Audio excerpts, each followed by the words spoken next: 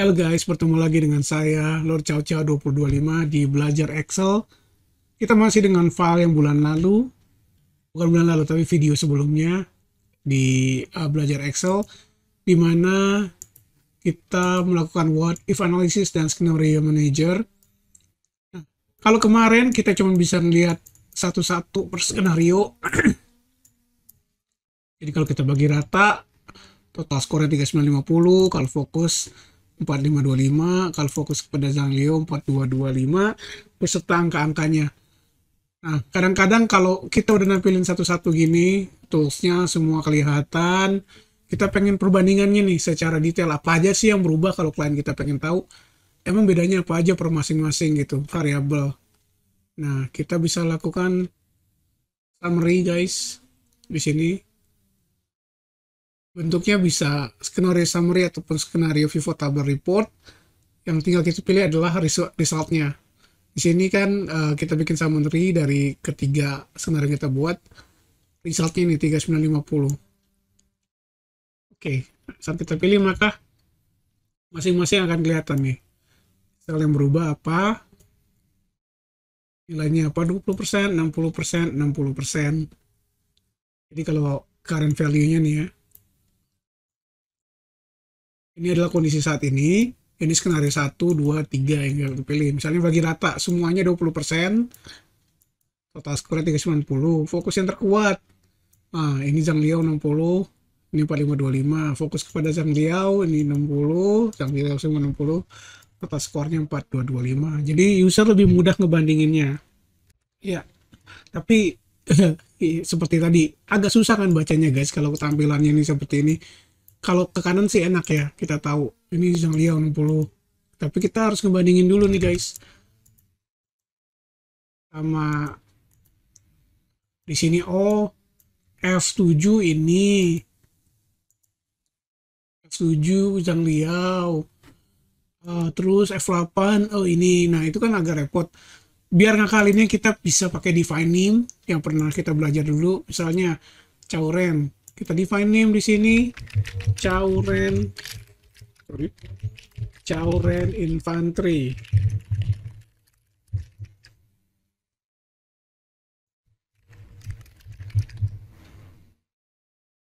Define name Chauren. Mana?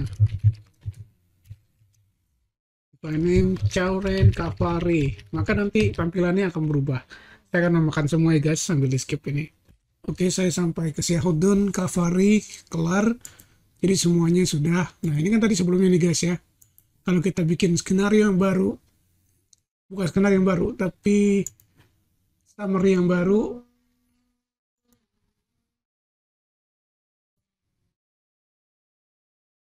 Oh iya, resultnya belum saya namain. Ini masih P13.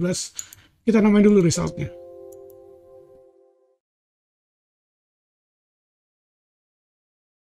Formula define name total power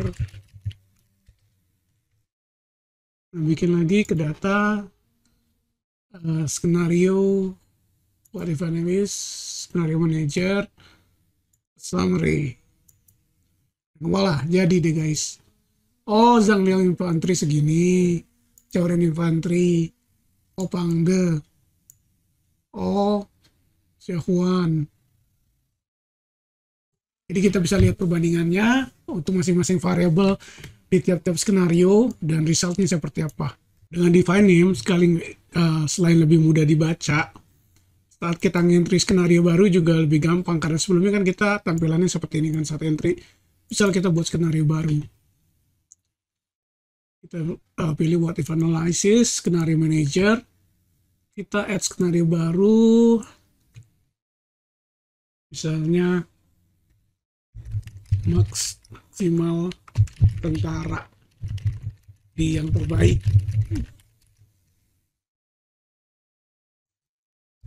Berarti Zhang Liao ya maksudnya sekarang Zhang Liao 100% di infanteri.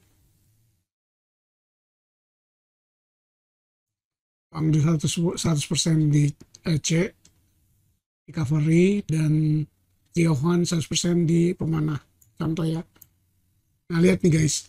Sekarang tampilannya gini, Zhang Liao Infantry. Ini jadi baca kan. Zhang Liao Infantry kita fullin 100%.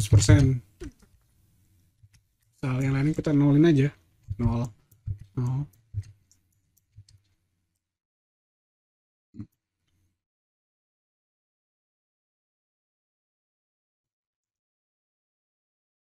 Nah, di sini masuk Zhang Liao Pemana. Zhang Liao Pemana, Huan kita maksimalin satu 100% ya. Kavarinya kita kasih Pangde misalnya. Dah, ini skenario terbaru. Nah, ini juga bisa guys jadi 5100. Kita samerin keluar skenario terbaru mana skor 5100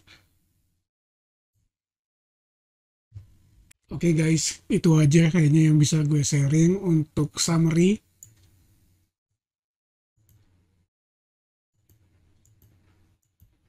Thank you for watching and have a nice day guys. Semoga bermanfaat.